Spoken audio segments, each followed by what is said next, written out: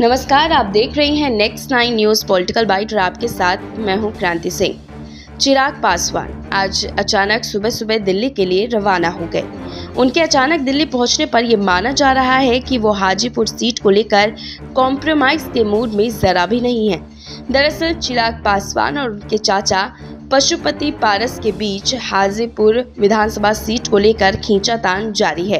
इस घमासान में अपना पलरा भारी रखने के लिए चिराग पासवान दिल्ली में बीजेपी के शीर्ष नेतृत्व से मुलाकात कर सकते हैं।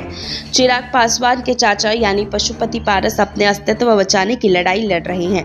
हाजीपुर सीट पर पारस खुद सांसद है।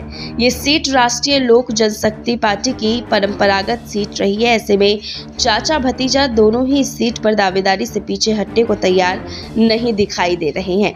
आप सभी को बताते चले कि पिछली बार पशुपति पारस हाजीपुर की सीट से चुनाव के मैदान में उतरे थे, जहाँ उन्होंने जीत दर्ज की थी। अब चिराग पासवान हाजीपुर की सीट पर अपना दावा ठोक रहे हैं। चिराग ने हाजीपुर में एक सभा के दौरान यहाँ की जनता को ये वादा किया है कि वो हाजीपुर से चुनाव लड़ेंगे।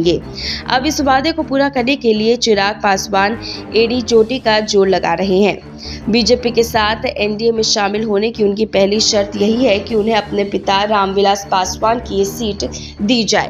चिराग पासवान का कहना है कि उनके पिता की सीट है, जिस पर उनका एकाधिकार है। चिराग पासवान ने हाजीपुर सीट को लेकर बीजेपी के सामने शर्त रख दी है।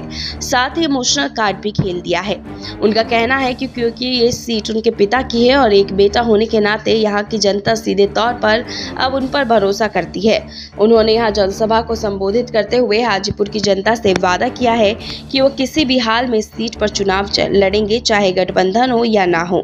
माना जा रहा है कि चिराग पासवान की इस मांग पर एनडीए गठबंधन में शामिल होने का रास्ता मुश्किल हो सकता है। फ़िलहाल चाचा और भतीजे के बीच इस सीट को लेकर खींचातान जारी है। बिहार में मचे इस बवाल को देखने के बाद आप लोग के क्या तर्क है? कमेंट बॉक्स में आप हमें ज़रूर बताइएगा। अभी के लिए बस इतना ही। देश दुनिया की तमाम बड़ी खबरों के लिए देखते रहिए next nine news political bite